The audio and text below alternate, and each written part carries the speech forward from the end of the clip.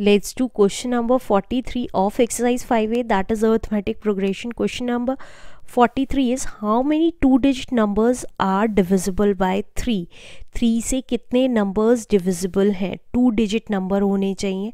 तो two digit अगर number देखें तो थ्री फोर जो ट्वेल्व आता है। ट्वेल्व से स्टार्ट होता है। तो टू डिजिट नंबर एक तो ट्वेल्व हो गया। उसके बाद फिफ्टीन होता है।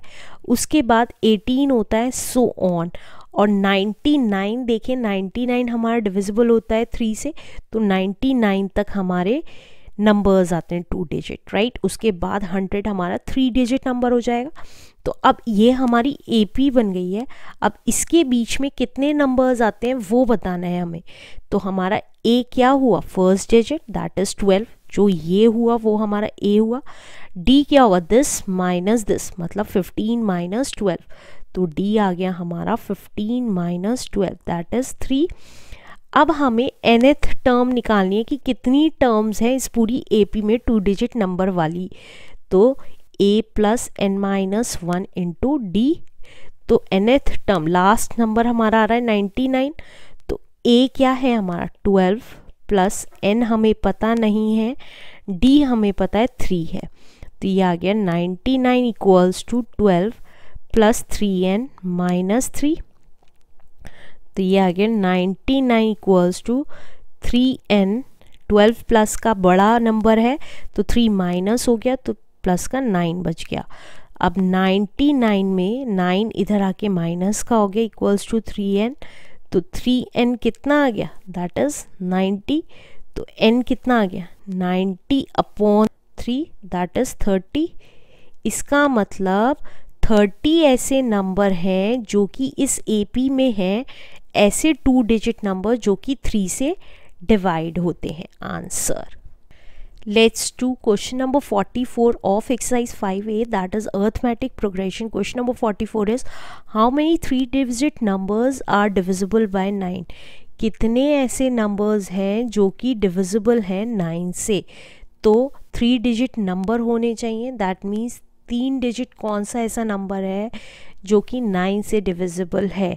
तो हंड्रेड देखें तो हंड्रेड डिविजिबल नहीं है हंड्रेड एंड वन भी नहीं है और हंड्रेड एंड टू भी नहीं है। कैसे पता चलेगा नाइन से डिविजिबल है कि नहीं है? उसका तीनों नंबर्स का सम हमारा नाइन से डिवाइड होना चाहिए। अगर आप देखें थ्री डिजिट नंबर में वन ज़ीरो एट इन तीनों का सम मिला के नाइन है तो हमारी डिविजिबिलिटी कि नाइन की क्या कहती है? अगर तीनों नंबर का सम नाइन से ना, सम नाइन से डिवाइड होता है तो that means whole number is divisible that means smallest number कितना हो गया? थ्री डिजिट नंबर एक सबसे स्मॉलेस्ट वन ज़ीरो एट हो गया. उसके बाद कौन सा आएगा? जो कि नाइन से डिविजिबल होगा. That is hundred and seventeen right and after that कौन सा नंबर होगा जो कि नाइन से डिविजिबल होगा? That means one twenty six so on अब कहाँ तक होंगे? ये पता लगाना है थ्री डिजिट नंबर अगर नाइन हंड्रेड वाले में देखें तो ट्रिपल नाइन भी ऐसा नंबर है जो नाइन से डिवाइड होता है राइट क्योंकि वन थाउज़ेंड फोर डिजिट हो जाएगा। अब हमें एक पता चल गया ए है हमारी first value that is hundred and eight और हमारा डी कितना है?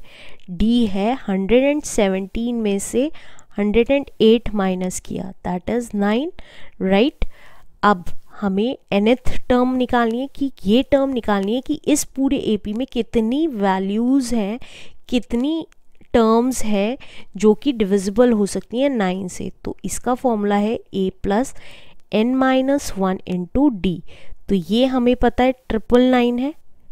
ए हमें पता चल गया वन ज़ीरो एट है। एन हमें पता नहीं है और डी हमें पता है नाइन है। तो अब ब्रैकेट्स ओपन कर लेते हैं। तो ये आ गया one zero eight plus nine N minus nine तो triple nine equals two hundred and eight में से नाइन गया is ninety nine plus nine N अब 99 दूसरी साइड गया तो माइनस का हो जाएगा तो ट्रिपल नाइन में से 99 माइनस का हो गया तो 9 एन कितना आ गया? 900 और एन कितना आ गया? 900 divided by nine, that is hundred. इसका मतलब इस ए पी में 108 से 999 तक 100 ऐसे नंबर्स हैं जो कि 9 से डिवाइड होते हैं। आंसर